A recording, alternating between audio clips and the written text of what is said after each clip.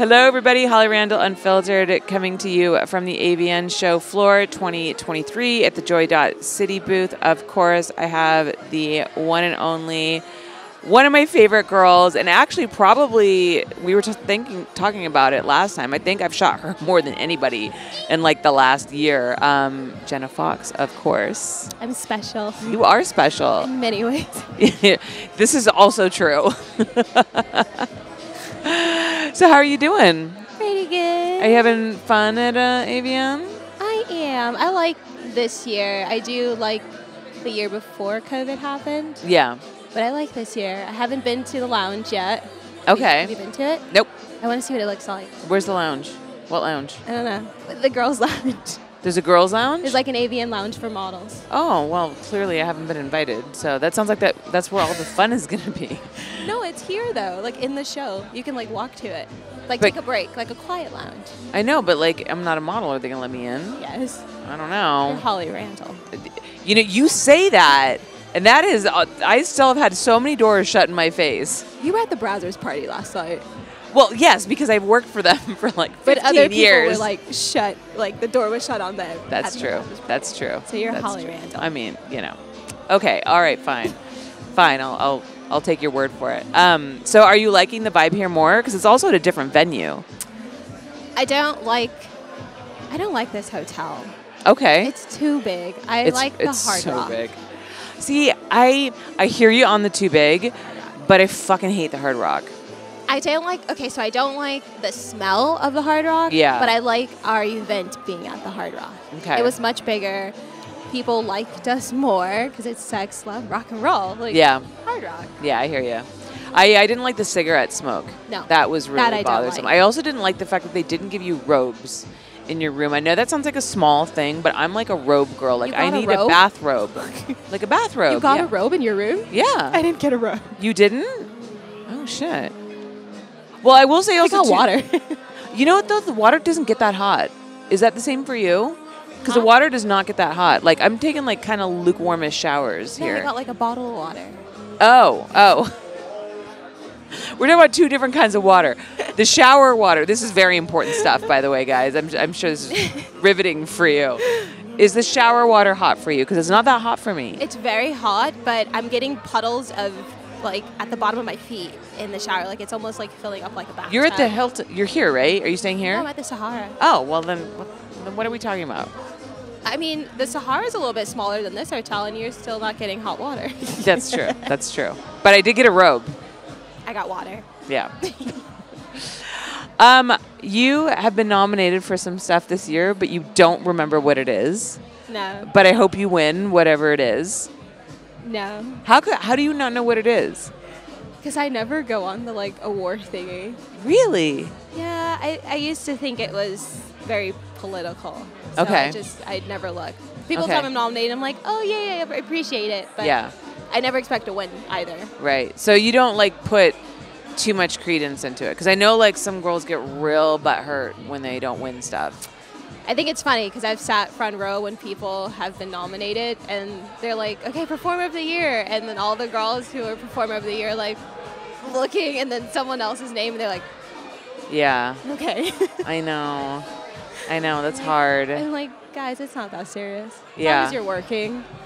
That I know, I agree with you. I mean, coming from somebody who's been in the industry for almost 25 years and has never won an AVN award, I'm just saying I'm totally not fucking bitter about it. It's Never? fine. Could even put me in the Hall of Fame. It's okay. You should No be in the Hall of Fame. Thanks. Holly, your thingy, your book thingy that you did, like Bombshell of the Month, mm-hmm. that should be its own category. Like websites, there's your own categories. Like, You know, I am up for uh, Best Adult Podcast this year for the Fan Awards. It's the first time they've introduced that category. So maybe to maybe this year will be the year I win. But you know what? Like you said, if I don't, it doesn't matter. people still love your podcast. People still love my podcast. I'm I'm doing fine. I'm making money. I'm happy. Like it's not all about awards, but like one would be really nice. It would. You know, I'm on the campaign. It, I should win an award. But it's okay. I'm on the campaign, so it's fine. Yeah, yeah. Um, do you have your AVN dress picked out? Yes, but I don't even know if I'm walking the carpet. I can't. I can't. I'm actually not going to the awards at all. Um, I just I'm over it. Yeah, I usually And- go and like go eat. I like walk Yeah. the carpet, turn around. Yeah, but walking the carpet is its own thing too. It's Yeah. so long. The line is so long. You stand in line for like three hours in heels. All the fans are wrapped around the outside of the rope taking like- pictures. Yeah. Like- I'm interested to see what it's going to be like this year, like how it's going to be different, the red carpet, because we're at it a new venue. Like, where is it though? I have no idea. I don't either. I haven't even received my ticket yet from my manager, but Oh, wow. whatever, because I might not go. I have to leave on Friday night for an audition, and then if it ends in time on Saturday, I'll come back. Are you going to LA for it? Oh, I see. So you would have to out. come. I have to come back. Yeah, I wouldn't come back if I was I don't you. know if I'm gonna come back. Yeah, I wouldn't come back if I was you. Some like XBIZ is coming up. I can use my outfit for that, but Yeah. I did want to walk the carpet. But Yeah. it's not a big deal. Yeah, yeah. Spoken like a true veteran. Speaking of, since you are, I would consider probably a veteran in this industry, a lot of experience. I'm a veteran guy. I mean, you know, like how long have you been in the industry? Eight years. Yeah, I mean, I think I think we can say that you've had enough experience in the industry that I'm you an oldie. that you could like give advice to new girls. I brought What- in a new girl. You broke in a new girl. I broke in a new girl. Okay, what does that mean? I booked her. I got her in with company. She's making money. Now she's signed with another agency. Oh wow, can you I- say who it is? Yeah, Jocelyn Ray. Oh, fantastic. Brought her in, helped her, housed her. That's awesome. Now she's doing good. Wow. So, what advice did you give her as a veteran of the industry? I told her you don't need an agent. and then she, And then she went inside with an agent. I was like, okay, it's fine. I told her don't do shit you don't want to do. Yeah, you that's don't very important. always need money. Ask a friend to borrow some money if you really need it. Yeah. Don't drink on set. Don't let anyone offer you alcohol on set. And do what you want to do at your own pace. I think that's all really like key pieces of advice. Don't get too wrapped up in the Awards. druggy side of the Yeah. industry with the girls. Yeah. I know when they get in, at least when I got in, they were heavy into the the drugs. You've always come across as somebody who's like not. I mean, you're so professional. I mean, you're the girl that we call when other girls flake on set because they like party too hard. Like Jenna Foxx will show up. I was a yeah, she will come. She will be ready. She will be like hyped. Like she will be good to go. Oh, I remember because Julianne taught me this when I first got in. She put all my lingerie sets in little baggies Aw. on one side, and she's like, when you go to set, they're gonna be like, who taught you that? And then people did, and then I did it for Jocelyn, and the director was like, how do you know that? Yeah. like I learned it from from a veteran myself. We love it when um, models come to set with like an organized suitcase full of stuff. Like I love, I love seeing like everything in individual baggies. Like I love that. The extreme girls would have pictures of them, what they look like in the lingerie. Yeah. and I was like, oh, Yeah, that was like next level shit. not doing that. Yeah, no, no, no, no, no, definitely not. definitely not.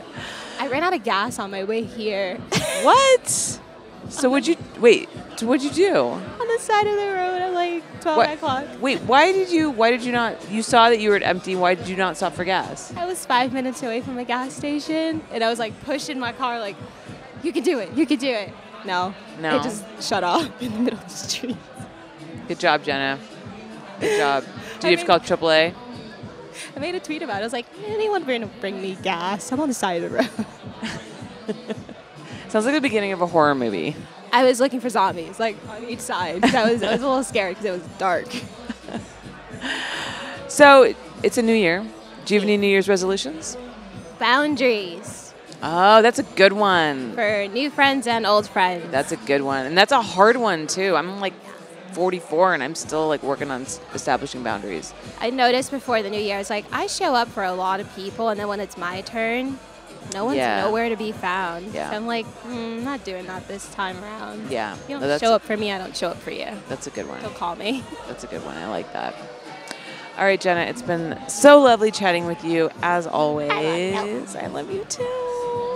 I had a crush on Holly when I first got in the industry. Shut up. It was really bad. Did you? I did. Really? They're like, you're the MILF I want. and then we got really close, and I was like, I love you. Oh, And I thank found out you. you had a hubby. I think that's what it was. You found out it has I been. knew if I had a husband, I was like, Well, Did you also find out that I'm like very straight yes. and not into women? But if I was, if I was gay, like 100%, I'd be all for it. She's but I'm, I'm very sorry. She's lying to me. I'm too straight. I can't fake it. It's okay. I adore you now as a friend. Okay, good, good. I love you too, Jenna. Can you tell everyone where they can find you online? Let's see. My Twitter is at only Jenna Foxx with two X's. Instagram is so bratty underscore, and my OnlyFans is the Jenna Fox. Fantastic. And of course, you guys can always find me on Instagram and Twitter at Holly Randall. But most importantly, go to joy.city to sign up for the email list.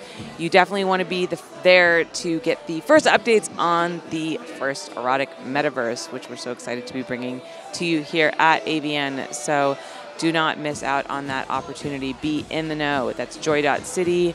Sign up there and um, be on the inside for everything coming up metaverse wise. Thank you Guys, so much for tuning in. We'll see you next time.